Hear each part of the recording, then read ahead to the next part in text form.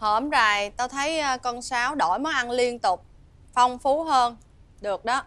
Dạ cũng nhờ có con, à, bé An á, nó ra ruộng á, nó bắt cua bắt ốc Rồi xong về nó phụ con nấu ăn nữa đó bà chủ. Ừ. Như bữa nay nè Trời nắng nóng như vậy Có tô canh rau nói với cua đồng Thiệt là mát lòng mát dạ. Tao khen đó. Dạ đúng rồi á má Từ cái ngày mà có em mang vô phụ bếp chị Sáu. Con thấy món ăn ngon ghê á. Con An nó còn nhỏ Mà nó biết chuyện hơn má nó nhiều.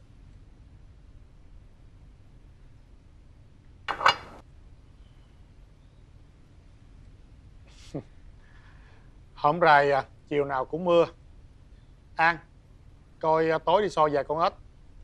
Tự nhiên thèm à, ếch xào xe ớt ngang hông Tôi cũng thèm ít xà xà ớt giống ba. Vậy tối nay á Mày đi kiếm vài con ếch cho hai cha con nó nghe không? Dạ má lớn.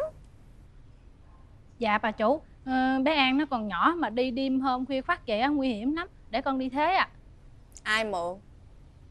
Dạ. Thôi ăn cơm đi ăn cơm đi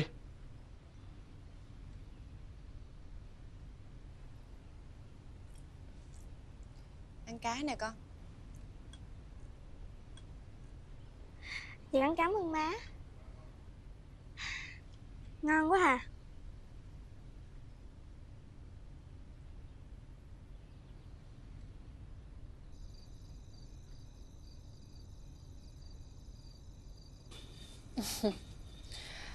Bữa nay nhùng nhuyễn hơn rồi đó. Ông thầy khởi dạy con đó má lớn Thiệt vậy hả? Là mày đi học xoa bóp để về bóp cho tao. Dạ Tại vì con muốn má lớn mạnh khỏe. Ờ Sống á, biết điều Biết trên biết dưới như vậy á Thì à, Tao sẽ không để cho mày thiệt thòi đâu. Má Má thấy con thơ đẹp không má? Ừ. Để con xuống pha nước cho má lớn năm chân nha Ờ được á.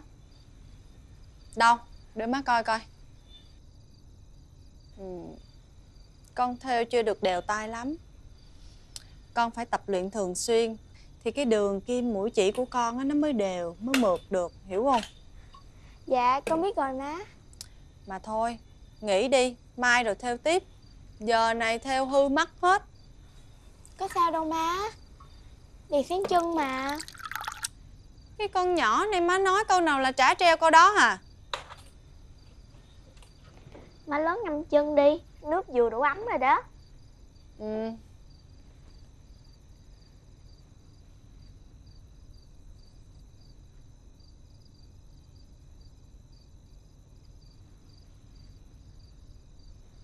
Má lớn Ông thầy Khải nói Ngâm chân trước khi đi ngủ Tốt cho sức khỏe lắm luôn á. Ừ Con có bỏ vô đây mấy miếng gừng tươi Sẽ giúp cho chân má lớn ấm hơn á. Mà con nghe người ta nói Là vừa ngâm chân vừa xoa bóp giống vậy Là trị được nhiều bệnh lắm luôn đó má lớn. Ừ Tao cũng nghe nói như vậy.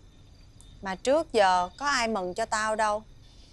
Tao cũng quên mất Đâu có kêu đứa nào mừng cho. Vậy từ nay mỗi tối con sẽ làm cho má lớn Ừ. Mới ngâm chân có chút xíu mà Tao cảm thấy đầu óc thoải mái hơn rồi đó. Tao thích nha. An nè Em có thích học theo không? Để chị dạy cho. Trời Nó thời gian đâu mà theo với thùa. Với lại tay chân của nó kìa. Cục mịch Dụng về.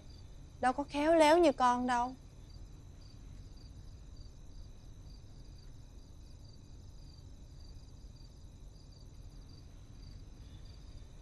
Trúc. Dạ má. Con coi có mấy bộ đồ nào mà con không thích mặc nữa. Con soạn cho con An đi. Đồ nó cũ mềm rồi. Dạ để má con soạn. Ờ. Ngoan ngoãn. Nghe lời dạy biểu của tao. Thì không có thiệt thòi đâu biết chưa? Dạ con cảm ơn má lớn đã thương con. Em cảm ơn chị Trúc